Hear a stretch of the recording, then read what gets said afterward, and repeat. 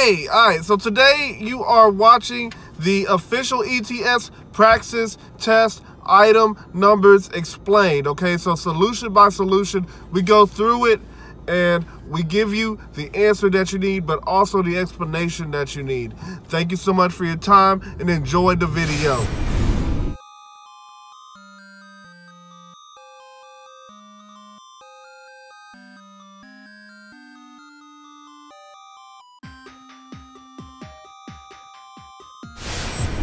Number 45, a Statue of Liberty casts a shadow that is 37 meters long. Uh, but we don't know what the height is. A 5 meter pole. We know the height of that, 5 meters. Casts a shadow is 2 meters long. I'm going to use this as a probability to find the answer.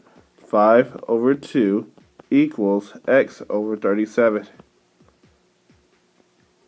I'm going to cross multiply we get 2x equals 37 times 5. Um, so 37 times 5.